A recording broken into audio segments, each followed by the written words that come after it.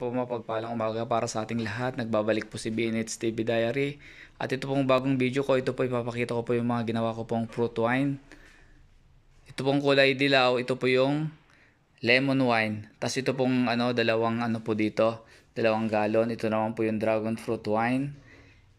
At saka big night wine. So tatlong uri po ito ng ano, ano prutas. Ito naman po mga nasa taas niya, ito, ito po yung tinatawag po nating wine airlock na ko po mula sa Lazada. Napakalaga po itong bagay na ito dahil ito po yung pag-process po ng fermentation. So, ang paggawa po ng mga wine o fruit wine, nasa atin po kung anong prutas po ang gusto po natin gawin. Sa akin po dahil na marami po kami dito mga prutas ngayon, katulad po nitong lemon, lemon wine or lemon fruit. So, ang ginawa ko po dito, in-slice po naman ninipis Then saka po namin pinakulo sa may sa tubig.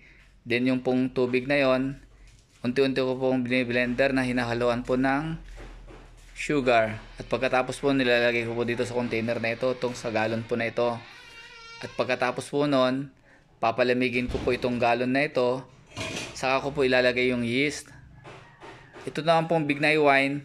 So, ang pinipili po namin ay yung pong kulay black, yung hinog na hinog na po. At pagkatapos po nun, Ibi-blender po namin na may kahalong sugar.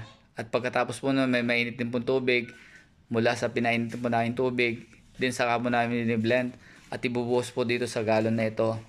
Sinasala din po namin. At pagka nasala na po siya, papalamigin po ulit ito dahil mainit po yung tubig. At pagka napalamig na po, saka ko po haluan ng yeast. Yung dragon fruit naman ang ginagawa ko po, kasi may mga tanim po kami mula sa maliliit po na dragon fruit na hindi po namin may benta. Yun po yung ginagawa ko pong wine. So hindi po siya nasayang. At ito naman po under process po ng fermentation kaya po nakita po ninyo yung airlock ko gumagalaw-galaw po siya. May pressure po siya mula sa loob. So bali nagawa ko po dito dalawang galon na dragon fruit, tatlong galon na Big Night wine. So yung Big Night wine po, Big Night po pag nakuha po natin yung prutas at napilit na po natin yung mga color black, yung mga hinog po, hugasan po natin maigi. May ginawa din po ako na iba, yung iba naman po pinakuluan ko sa tubig. Agad-agad yung pinakaprutas po ng bignay. Then saka ko siya unti-unti dinurog, kinuha ko po yung katas. Then nilagay ko po sa blender at paglagay sa blender, hinahaluan ko po na mainit ulit ng tubig. At pag naputo po yung blender, saka ko po lalagyan ng sugar. At pagka na-blend po yung sugar, saka ko po ilalagay po dito.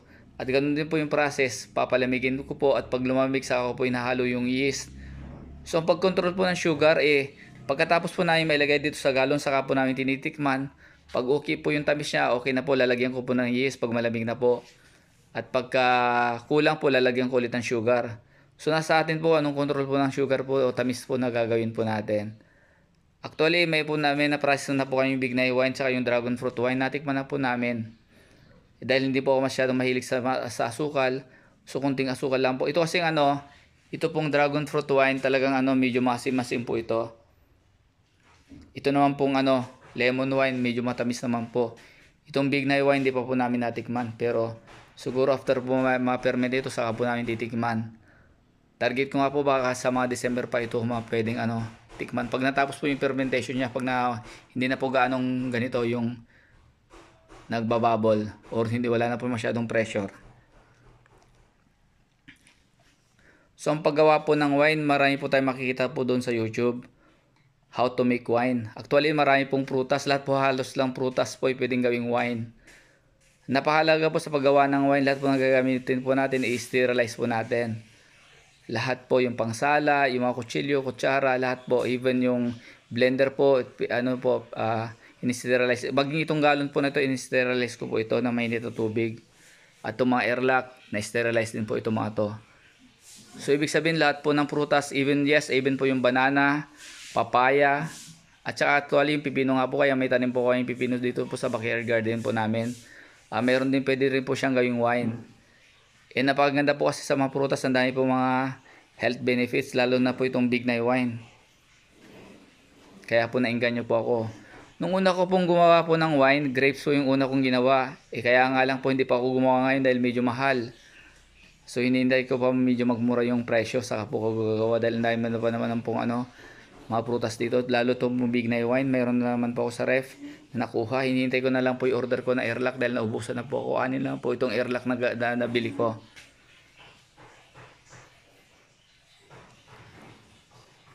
Ito pong ano ah, lemon wine, yung lemon fruits po, ini-slice po ng maninipis kasama po yung balat. Then ito mong bignay, pipiliin mo lang pag kumuha ka, pipiliin mo yung black na bignay. Kasi ito po yun po yung black, ito po yung mga hinog. Then pagkatapos sumapili, hugasan po ng maigi. Then ilalagay po sa isang kasirola, haluan ng konting tubig. At pag nahuluan ko po ng konting tubig at kumulo na po siya, dinudurog ko po siya. At pagka nadurog na po, meron po ulit akong pinainit na tubig, hinahaluan ko po ng maraming tubig po yon hanggang sa mapuno po ito. At pagka po na puno po yon ilalagay ko po siya sa ano sa blender at pag nilagay sa blender lalagyan ko po siya ng sugar at saka ko po siya i-blend para matunaw po talaga yung sugar po. Saka ko na po siya nilalagay dito. So pagkalagay dito medyo mainit-init pa po yon. At pagka mainit, ang ginagawa ko po, pinapalamig ko po muna ito. Saka ko po siya lalagyan ng yeast. At paglagay po ng yeast, itatakip ko na po ito. Lalagyan ko na rin po siya ng airlock. Ito pong ano, ang may mga latak-latak to pong dragon fruit. Ayan, kasi halos ano po talaga yung prutas po siya. Pero yung prutas po, paggawa ko po ng prutas ng dragon fruit, direct po siya sa ano sa blender. Lalagyan ko rin ng mainit na tubig, then sugar, then saka ko po siya i-blend. Then sasalain ko po siya. Pero ito po kasing ano, bignay, hindi po ganon. Ah, pinapakatas ko muna po siya, hinahaluan ng mainit na tubig, yung kumulong tubig, at pag marami po siya, kung uh, ta- tansya ko po, eh, mapupuno niya po ito, saka ko na po siya i-blend with sugar. Ganon din po yung bignay wine. Pinapakulo po muna namin, pinapakulo ko po muna. Ah, dito nyo po makikita pag ano, nagpe-ferment po siya yung airlock. Medyo nagbabubble po siya.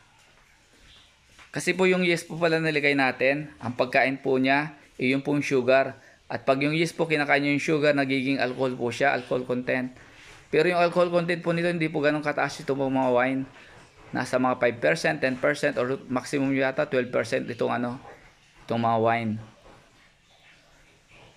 Kung gusto po natin matutong gumawa ng wine dahil hindi ko po binidyo yung paggawa ko po dito, napakaganda po, napakarami po tayo makikita sa YouTube how to make wine.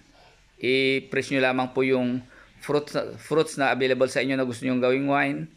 Then saka nyo po titignan doon kung paano. So sa akin madali lang po yung paggawa po ng wine.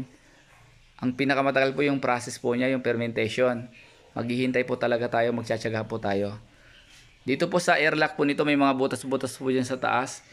Dahil may lumalabas nga po ng hangin. Pag inaamoy ko po, halata mong ano na po siya, na peppermint na po siya at nagiging uh, wine na po talaga siya. May eh, alcohol content na po yung amoy niya.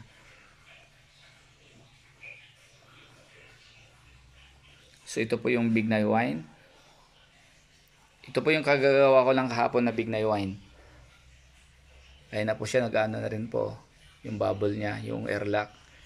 Ito Big Night din po yan. Ito Dragon Fruit naman po yung maliliit. Dahil hindi ko pa po nakita na ganito pala yung pinaglalagyan nila. Maganda rin po sana kung mayroon kayong ano yung ah, wine barrel, yung wood barrel. Kaso ang mahal po sa Lazada, nasa 3,000. Itong binili ko, binili ko po ito na galon is nasa 150 lamang. Then ang ginamit ko rin po tubig pala dito yung ano po ah, distilled water or mineral water. Saka ko rin po pinapakulan pa yon. So bagamat mineral water na siya, pinapakulan ko pa rin sa mainit na tubig o sa mat, sa to sa pagpapainitan ng tubig. Sa shilane, ganyan. Or kung mayroon kayong electric na pagpakulaan, doon ko po ginagawa. Kaya medyo siguro mahal po yung electric po namin ngayon dahil doon ko halos ginamit po yung pag, pagpapakulo ng tubig, even yung pagbiblender po ng mga prutas. Umorder po ako ulit ako ng airlock kasi ang dami na naman pong pahinog na dragon fruit na mga prutas po namin. At saka marami pa rin pong bignay. So, ang inaano ko po kasi habang marami pang prutas, sayang naman po. Dahil mag- maganda po ito mga ano nito sa health benefits po natin. Ang dami nyo po makikita, lalo sa bignay, even lemon, at saka yung dragon fruit, syempre. Ang kinagandaan po nito, lalo tong bignay wine, may nakita po ako na gumawa po ng wine sa part ng Tugigaraw, Cagayan, sa Isabela. Ano po sila? Ah, sabi po nila yung may mga high blood po, ah, nagno-normal po yung blood pressure po nila.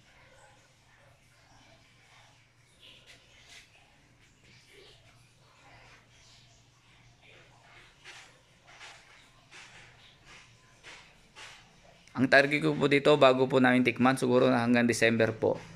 So ngayon is August. So mga 4 months siguro siya. At sa titignan ko na rin po pag wala na po siyang ganito, nagbababble. Ibig sabihin na permit na po siya na maayos.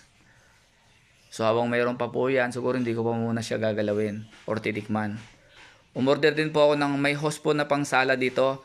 Yung host po na pang wine talaga bago may lagay sa bote. Doon po sa dulo ko sa nun may meron po siyang ano pang ano yung parang pansala na hindi malalagay yung mga ito yung mga latak po niya katulad po ng dragon fruit. Actually itong ano meron din po yan sa loob syempre. Even itong Big Night Wine. Ito po yung unang-unang Big Night Wine na nagawa ko. Ayan, malakas pa rin yung kanya ano pagbubble ng airlock na may tubig. Ito po yung pangalawa. Ito, ito po yung last kahapon lamang po ito. Ayan.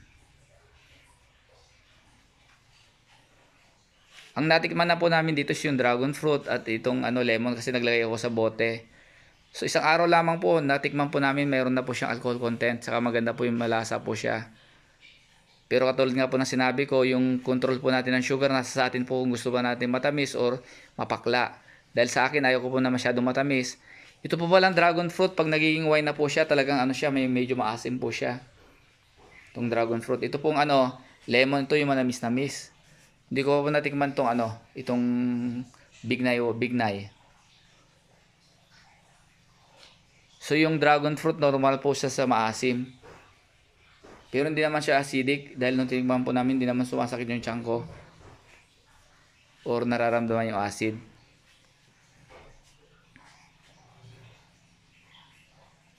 Dito po siya nilagay dahil hindi nga po magano sa kwarto, medyo ang daming gamit. So naglagay na lamang po ako ng ano, parang pinaka-shield niya para hindi po siya mainitan masyado dahil yung ang ano niya, yung kailangan po yung temperature po ng ano, ng paglalagyan na hindi naman magano mainit. Sa bagay ngayon tag-ulan po, hindi naman po masyadong mainit ngayon dito.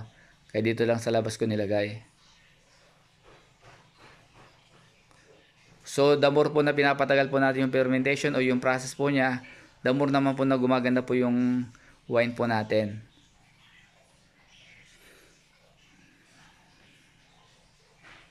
So, ngayon August, September, October, November, December. Pag December, nasa 4 months, medyo siguro maganda-ganda na po yung kanyang pagka-process. Pero pag nakita ko na po na hindi na po siya nagbabubbles, nawala na po ito, Siguro maglalagay na rin po ako sa bote.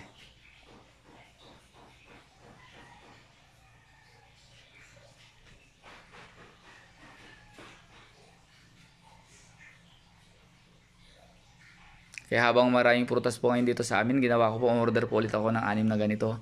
Kasi unang order ko lamang po is anim, inalagyan na po lahat. Yung wine barrel po kasi sa Lazada mamahal, pero maganda po sana ko yun ang paglagyan, yung wood, wood wine barrel. E nasa 3,000 po ang price po nun. Ito naman pong galon, nakita ko po ito sa ano, sa paggawa po ng wine sa part po ng Tugigaraw Isabela. Ganito po yung ginagamit po nila. So sa mineral water po ito. So mura lamang po ito. Bali, ang bili ko lamang po nito is nasa 150 isa. Plus yung mineral water ng tubig, 25 pesos lamang po. Pero yung process nga po, papakulan ulit yun na may, sa mainit. Papakulan po ulit yung tubig. Saka po ilalagay dito.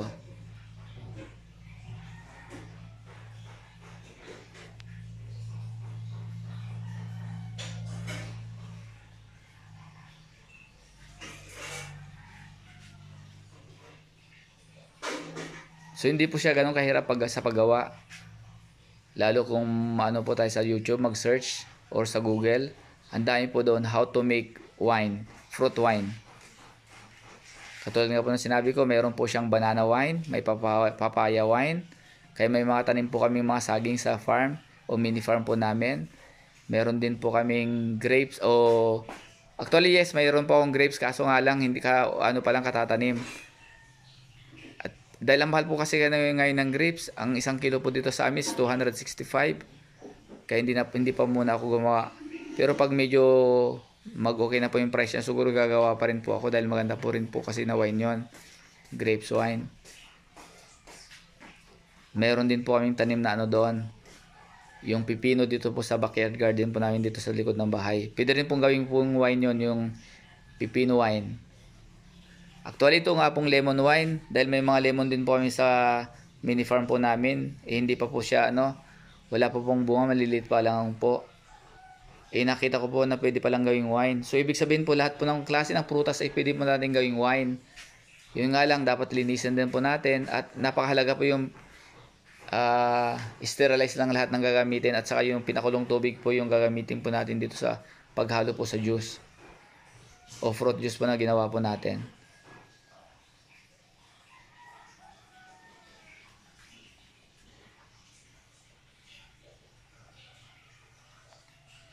So yan, yan po yung sign na nakita po natin nagkaroon ng fermentation sa fruit po natin, juice na nilagay po dito sa ano, sa galon.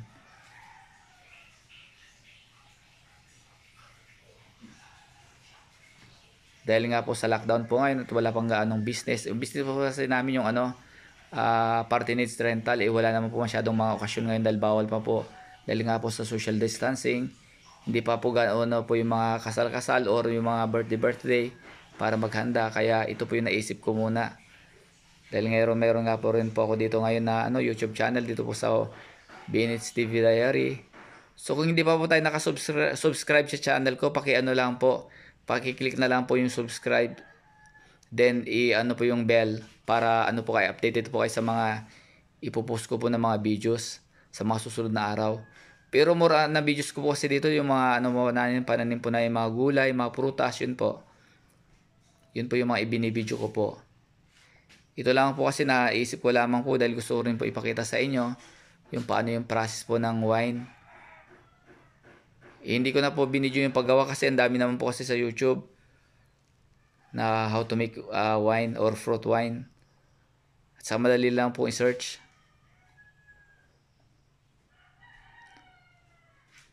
Yun lamang po. Sige po, God bless us all po ulit. See you po next video ko po. Ito po muli si Bennett's TV Diary. Pagpalain po tayong lahat ng ating Panginoon.